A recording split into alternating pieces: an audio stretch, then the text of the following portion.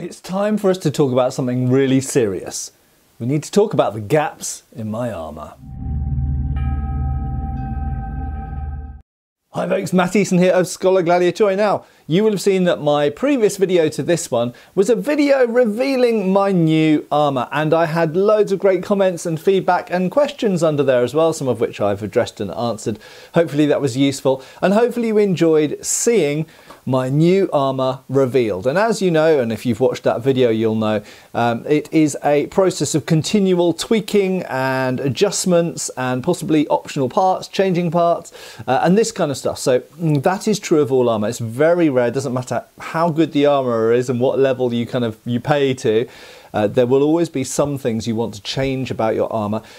Not necessarily always because it's uh, not all working great, that can often be the case, but sometimes it's just because it's not working great for what you want it to do. And that's really the main context of this video. So, whenever I do videos about armour, people often point out the gaps. They go, oh, but but Matt, I would just uh, stab you in the armpit, or I'd stab you in the uh, inside of the elbow, or uh, in the back of your gauntlet, or in the back of your legs. Why aren't the back of your legs covered? So, there's a few things to deal with here. Now, first of all, I'm going to say that most armour throughout history, in fact, the, the vast majority of armour throughout history, doesn't, cannot, and did not protect all parts of your body. Most armour is a question of prioritising what you have to protect the most, and sometimes you can't protect certain bits for certain reasons, we'll look at in a second, and sometimes you have to have different levels of protection for different parts of your body.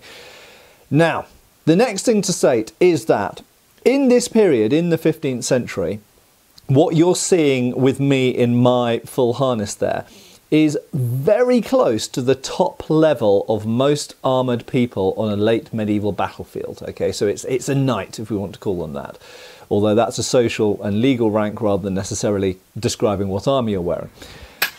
So this type of man-at-arms wearing this knightly type of armour is pretty much the apex predator on the medieval battlefield. Now the first thing to realise is the vast majority of people on a medieval battlefield are people like pikemen, billmen, crossbowmen, longbowmen, gunners, these types of, types of people, and very, very few of them wear complete harness of this all-encompassing nature. So while my armour does have certain gaps, we'll talk about those gaps in a second, while it does have certain gaps, it has far fewer gaps than all of the other people who aren't also knights or men-at-arms on the medieval battlefield archers and billmen and all of these sort of crossbowmen, all of these sorts of people have far less armour. So in relative terms, you're still extremely heavily armoured. And of course, to briefly mention at this point, if we compare to other periods of history, if we look at a Roman soldier, for example, even the heaviest legions in the Dacian campaigns, um, they they were even if they were wearing like a, a, a sort of manifet on one arm, um, uh, so they had an armored arm, which most Roman legionaries didn't have, of course. Um, if we look at their lorica, so whether they're wearing lorica hamata, if we call it that, so mail shirts, or whether they're wearing lorica segmentata, if we call it that, which I understand might not be the correct term for it, um, which is a form of plate armour, or you know, the scale armour, various other armours that the Romans wore, for the most part, that really only covers the torso. Not all of them even have those large shoulder guards that is so popular in Hollywood. So, they've got exposed, and they have a helmet, of course, and they sometimes have greaves and they sometimes have something on their arm, but large parts of their body are uncovered. Okay, usually their arms, usually most of their legs. You could even say their groin to some extent usually the face, pretty much always the face actually, except for the cheek plates. So they've got huge great openings. So if we come back to the medieval, and if we, indeed, I said other periods, if we look at the modern era, if we look at, uh, someone made a very good comment on my Facebook page actually today, um, where they pointed out, you know, modern armour, people don't point out when looking at a modern soldier with the plate carrier that there are gaps, and clearly the face is usually uncovered and usually the limbs. So yes, they're wearing armour, yes, they're wearing a helmet, yes, they're wearing a plate carrier, or with a Roman soldier, they're wearing a helmet and some form of torso defence, but large parts of the rest of their body are uncovered. And this was true in the medieval period as well, which is the period really, in most of the world, we could look at some parts of perhaps Chinese and also Korean history and things like this, where some soldiers did wear a lot of armour, but certainly in Western history, the medieval, the late medieval period is the period of the heaviest level of armour that we really see. If we go forward in time to the 16th and the 17th century, we see lighter armour, we see more exposure.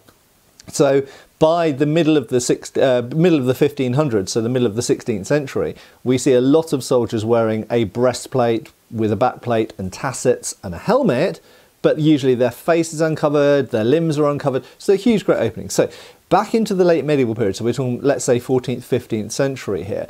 Indeed, even a heavily armoured knight has some openings, but nothing like as many openings as a typical medieval soldier has. Now let's consider the specific openings on my armour. So a number of people pointed out the inside of my elbows, which were lacking mail. Now the first thing to say is, this is actually not unhistorical and it's not actually that unusual. If we look at medieval art, we actually see lots of examples of people not having mail on their inner elbows. That being said, I do intend to put mail on my inner elbows. It's only missing at the moment because I haven't stitched it onto my doublet yet.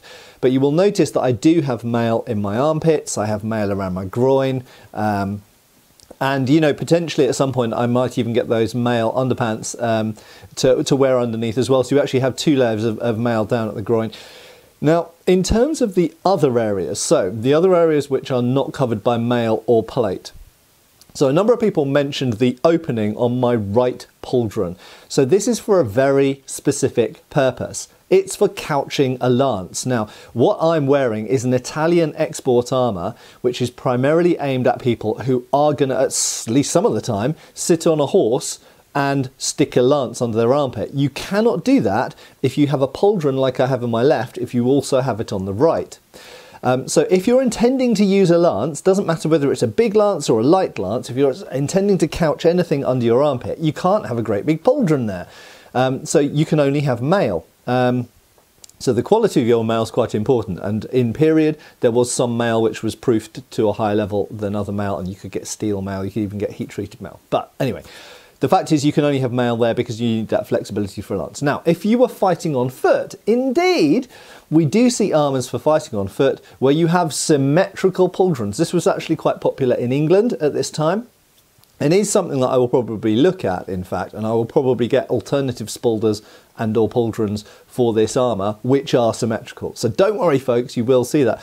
The other option, of course, is besagews, and a number of people mention besagews. They are hanging down uh, discs, or they can sometimes be rectangular or oblong in front of the armpit. The first thing to say about those is while they do give extra protection, they are also movable because you still need to be able to couch the lance under your arm. So they need to be able to move up and down. So they don't offer as much protection as a large pauldron does, but they offer more versatility. We'll come back to the subject of versatility in a minute.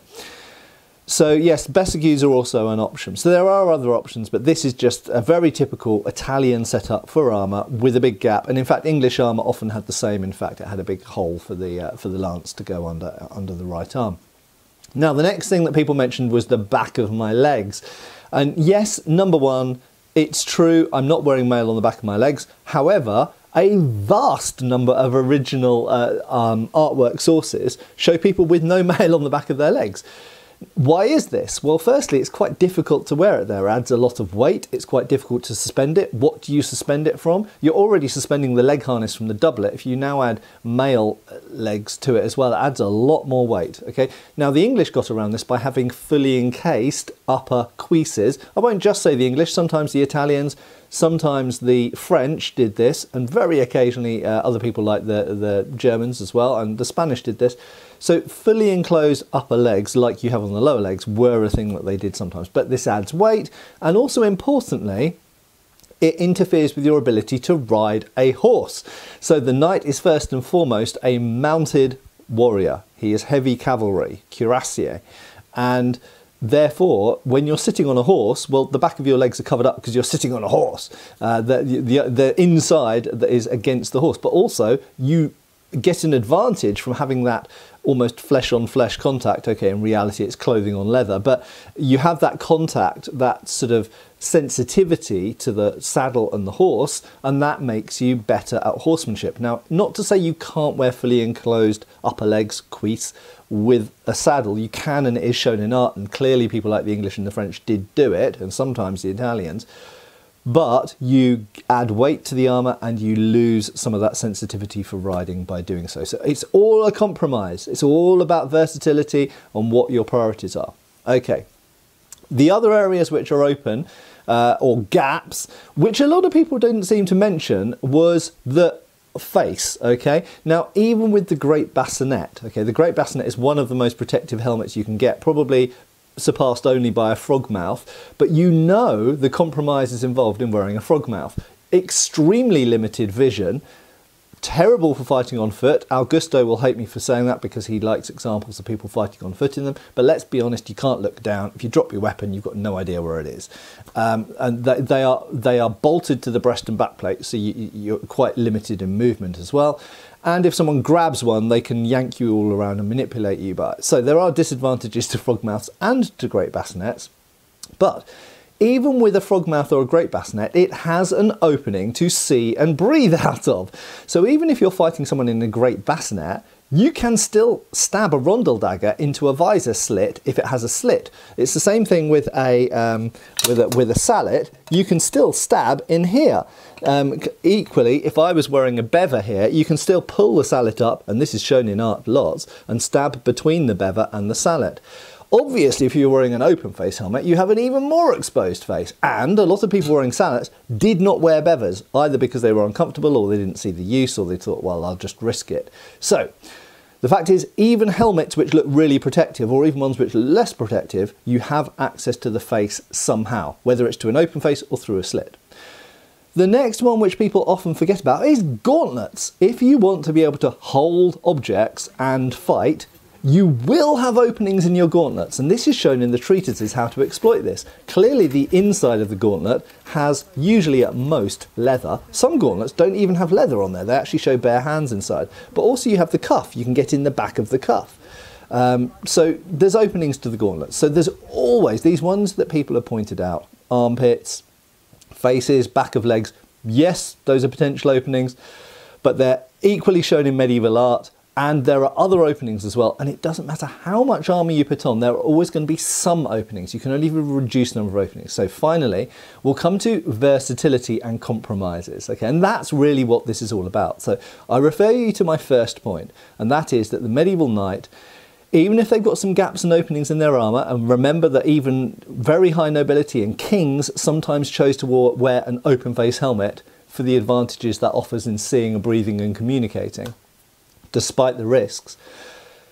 Even though um, you might be able to cover a lot of your body, there are always going to be some gaps. Now, you might say there are some exceptions to this. What about Henry VIII's foot combat armour, which was actually not finished and not used, but used for the field of the cloth of gold?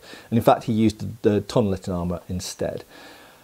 That is an example of an armour with minimum openings. It has a visor, which is designed that you can't really get a point through because it's just got little holes.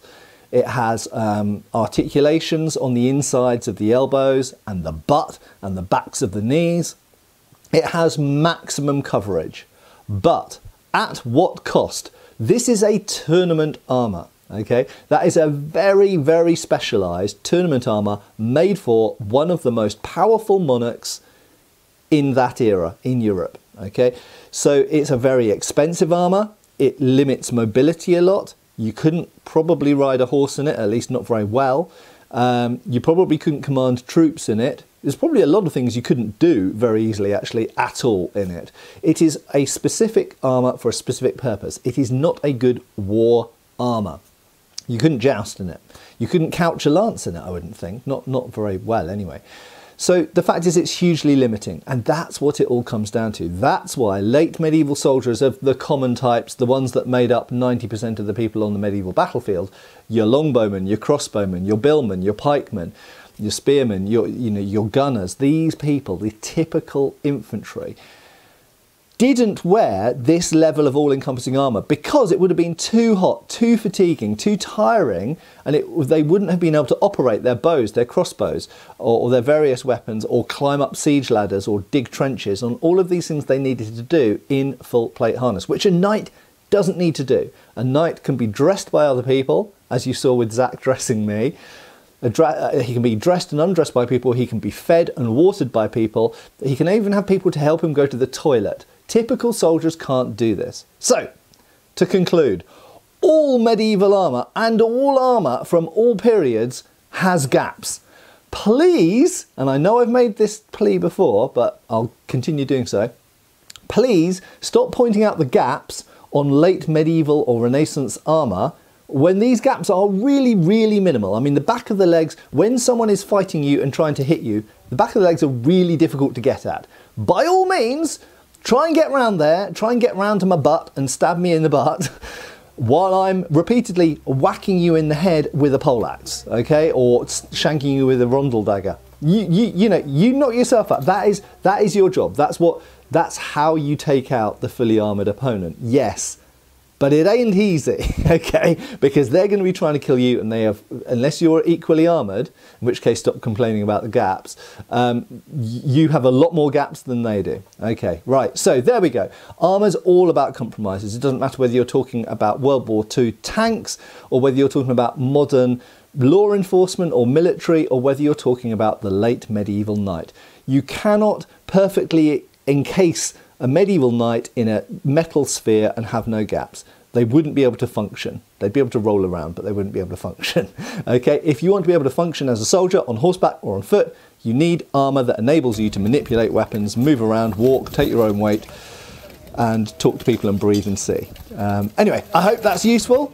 I hope this has been thought provoking. If you have any specific questions about my armor or armors of this period, then get posting down below because I'd love to make more videos on this topic. It's a rich goldmine of, of, of topics, I think, to talk about, uh, particularly on this channel. Uh, maybe I could bring in friends like, uh, like Zach and other people in on it. Uh, but anyway, I hope to see you down in the comments. Thanks a lot for watching. And if you haven't seen the previous video, make sure you go and check it out. And I'll see you back on the channel really soon. Cheers, folks. Thanks for watching. We've got extra videos on Patreon. Please give our Facebook a like and subscribe if you haven't already. Cheers, folks.